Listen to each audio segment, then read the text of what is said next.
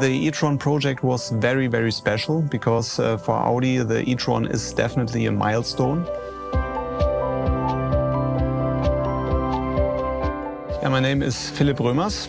I'm head of exterior design Studio 2 and in my team the exterior design of the e-tron was done. The e-tron is the first full electric vehicle for Audi and that's why everybody from the Audi design team wanted to take part on this project. It has some similarities to other Q models, but uh, definitely it brings a new language since we are talking about electrification for the first time. My name is Juan Carlos Huerta and I'm exterior designer in Audi Design. The e-tron project is a really special project for Audi and it was absolutely exciting to be part of that. My name is Stefan Fahrbecker and I work at Audi in exterior design.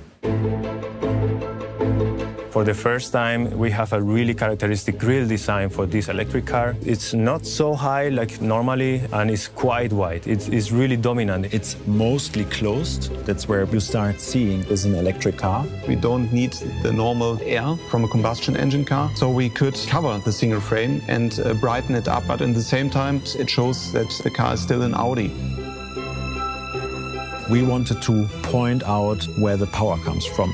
The rocker is the heart of the e-tron actually because it features the battery. The heart is not sitting under the bonnet anymore. That's why we created a very special design also to emphasize that there's something new.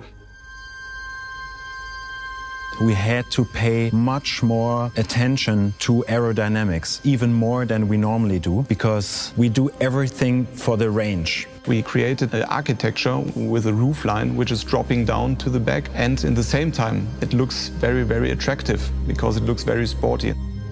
We have a shoulder line that is running all around the car and it puts like a low center of gravity to the car which is quite sporty. But then on top, the Quattro blisters or the Quattro lines, they sit on top. So it has this really robust and rugged feel to really emphasize that we are a Quattro brand.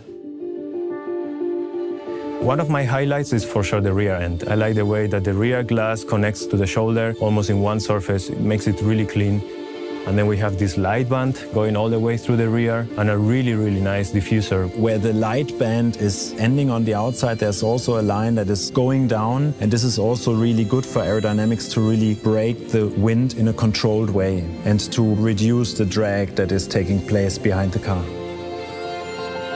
It's important that the charging port sits at another place than a normal fuel cap would sit and it's nicely integrated into the form. It's not just a cutout somewhere. It's really the shoulder line is going into it and it's nicely attached to the wheel arch. And what is super important for me is that it opens automatically. And when you pull out the plug, the lid will close automatically as well. I'm proud of the fact that this car looks really sleek. It's a modern but really quiet design somehow. I'm really happy though. I think the result, it really speaks by itself. I think that the electric vehicles will be part of our future mobility. This is typical Audi when technology and design come together.